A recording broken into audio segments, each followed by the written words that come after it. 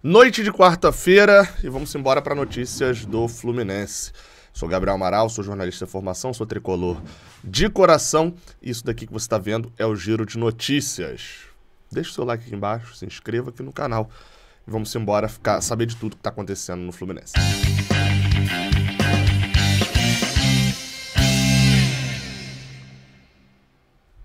Vambora. Seguinte, olha só. É, o Fluminense fechou a sua preparação para o jogo de amanhã contra o Flamengo.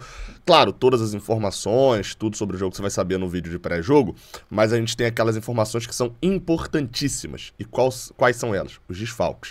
Uh, bem, além do Vitor Lessa ter publicado sobre o Keno, né, do Keno ainda ficar fora mais tempo, mas isso a gente vai abordar uh, um pouco depois. É, o Keno não era esperado para esse jogo, né? O Fluminense ainda pode não ter Marcelo. A verdade é que, segundo o portal GE, Marcelo deve ser relacionado, mas ainda não sabe se vai iniciar o duelo ou se vai começar no banco. Uh, segundo a publicação do Super Esporte, uh, Marcelo chegou a afirmar para alguns amigos próximos dele que ele jogaria até sem uma perna esse jogo contra o Flamengo.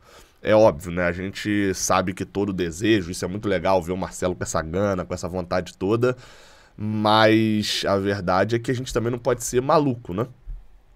Essa é a grande verdade. Marcelo entrar, por exemplo, com, uma, uh, com um problema físico e não conseguir jogar, é, provocar uma substituição no início do jogo, ou até mesmo continuar jogando mas não, não, não ter um desempenho aceitável também, ficar ali sofrendo dentro de campo, também não é o ideal.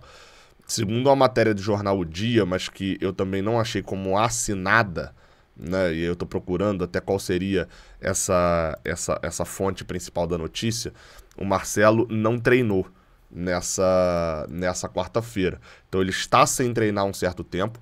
Todo mundo internamente fala que não teve uma lesão do Marcelo, de que ele só teria, na verdade, o, teria tido um enrijecimento na panturrilha, e esse enrijecimento na panturrilha teria provocado uma espécie de conta de tipo de lesão.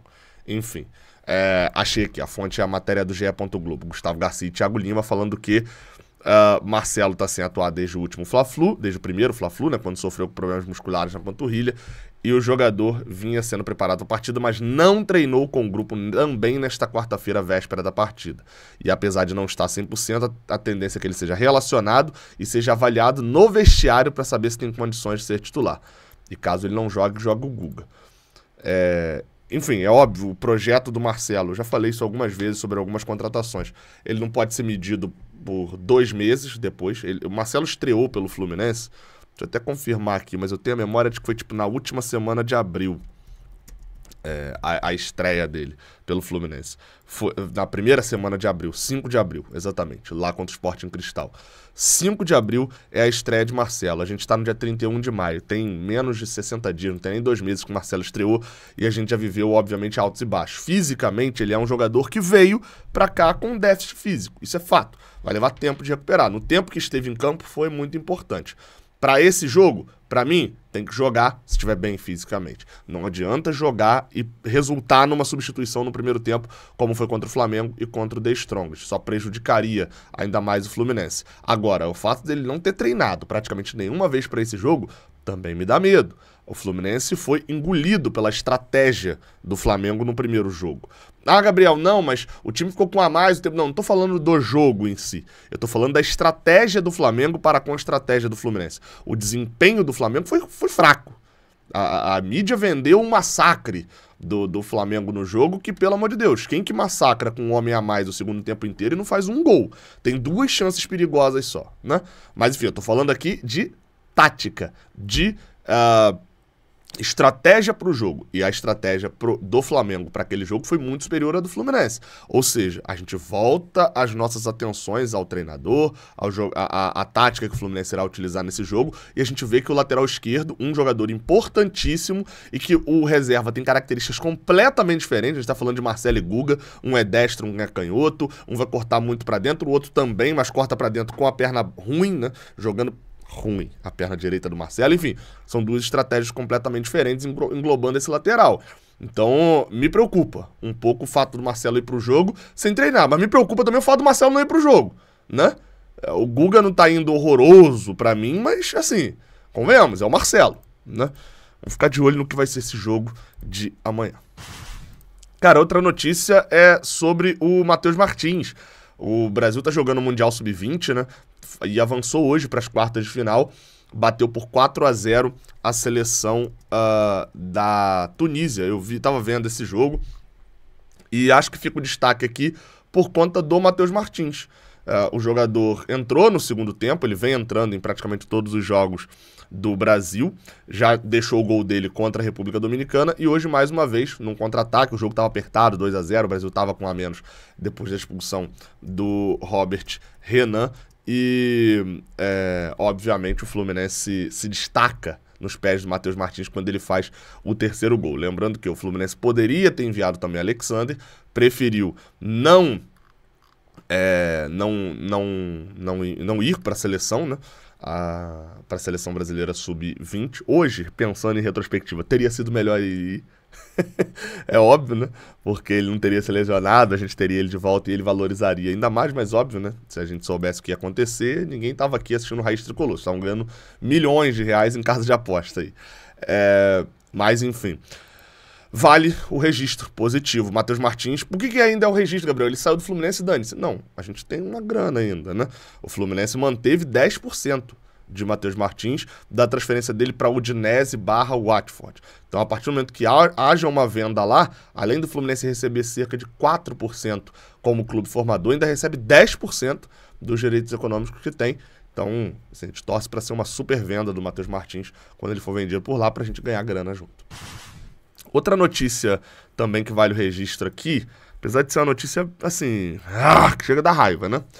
O portal Netflu publicou um, uma notícia de que Rafael Ribeiro processou o Fluminense por falta de pagamentos. É isso, ele processou por falta de pagamentos.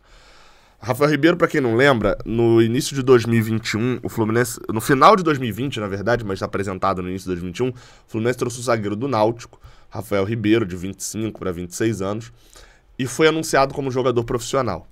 Depois, a justificativa criada é que o jogador não era um jogador profissional, não tinha sido contratado para profissional, apesar de ter 26 anos, a contratação seria para o sub-23. Bem, é, o que, que aconteceu? Ele jogou apenas um jogo, um Fluminense e Portuguesa, se eu não estou enganado, foi 3 a 0 para eles. Naquele início onde o Fluminense, por, por, por não ter tido férias né, entre 2020 e 2021, o Fluminense já atuou com a equipe sub-23. Fez uma partida horrorosa. Horrorosa. Foi um dos piores jogadores do time e, no raio-x que eu fiz aqui no canal, já se mostrava ser um jogador realmente muito fraco. Rafael Ribeiro atuou só essa vez pelo time profissional do Fluminense, uma outra atuação pelo Sub-23 e, obviamente, foi é, encerrado ali o seu contrato, foi devolvido ao Náutico, enfim, liberado das suas para as suas situações. A questão é que o, o, Rafael Ribeiro, que hoje é zagueiro da Chapecoense, uh, ele cobrou na justiça, segundo a matéria do Netflu, agora entrando diretamente. FGTS, além do FGTS, uh, verbas rescisórias. O que, que seriam verbas rescisórias? É, salário que ficou devendo, saldo de salário, porque quando você é demitido, tipo assim, seu salário, seu contrato encerrou dia 21, você tem direito a receber esses 21 dias que você trabalhou. Entendeu? É o salário desses 21 dias. É, você tem direito a receber, por exemplo, seu, o contrato dele encerrou em junho, você tem direito a receber seis meses do 13 terceiro. Isso aí, qualquer pessoa que já foi demitida sabe que você recebe essas coisas. No final das contas, o Fluminense confessou uma dívida de 38 mil reais. O salário do Rafael Ribeiro era de 25 mil reais. 38 mil reais com o, o atleta, e que seria pago em seis parcelas de seis mil e poucos reais.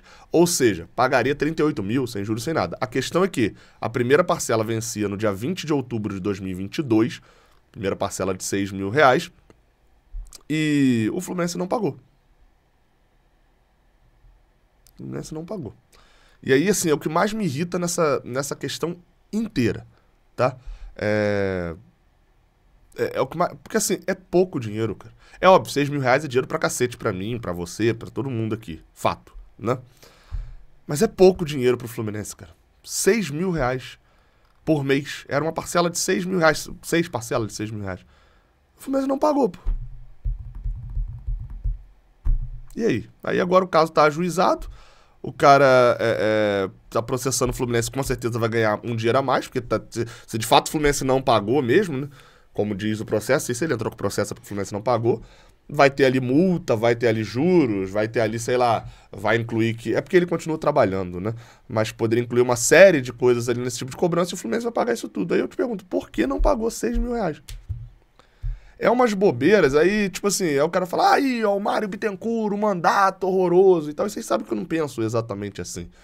É... Mas tem uns erros. Eu, eu, até me lembrei um pouco do Abel Ferreira. Tá? Não tem nada a ver, tá? Mas vocês vão entender onde eu vou chegar.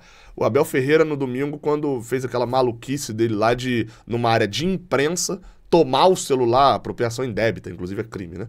Tomar o celular de um repórter que estava filmando, de um produtor, mas enfim, estava ali como jornalista, tomou o celular que estava filmando ele presente, com a intenção de presentear ali o Arthur Apto com a camisa e tal, numa ação normal e tranquila e sem problema. E ele ficou puto e tomou e ainda acusou os repórteres de que a culpa do futebol brasileiro tá desse jeito era deles, enfim, um negócio completamente maluco e bizarro. E aí, assim, me lembra um pouco disso que o Abel Ferreira é um treinador espetacular, talvez um, talvez o maior treinador desse século aqui no Brasil, pelo menos vitorioso, dá pra gente incluir como o mais, mais vitorioso. E o malandro, né? Faz uma merda dessa, cria pauta negativa para si mesmo. Fluminense, o mandato Mário Bittencourt tem muita coisa para ser elogiada, muita coisa, principalmente nessa área de regularização, regularização financeira do Fluminense. Quando você pega 2019, você vê a entrevista do Johnny Gonzalez falando que recebeu o primeiro salário de 2019, ele recebeu em julho. e você pega agora, é óbvio que são, é um outro cenário completamente diferente. Mas aí cria pauta, a, a, a, cria pauta negativa porque não pagou 6 mil reais por mês. Para um zagueiro que não deveria nem ter sido contratado, mas eu não vou nem entrar no mérito técnico aqui. Porque apesar de ter sido um erro absurdo que não deveria ter sido cometido, erros acontecem. Mas é um erro absurdo que não deveria ter sido cometido porque era ridículo. 6 mil reais por mês, sério mesmo? Enfim, que o Fluminense elimine o Flamengo amanhã com o Marcelo sem Marcelo, ganhe os seus milhões da Copa do Brasil e pague essa porcaria desse acordo com o Rafael Ribeiro logo. Enfim, tamo junto. Até a próxima. Valeu.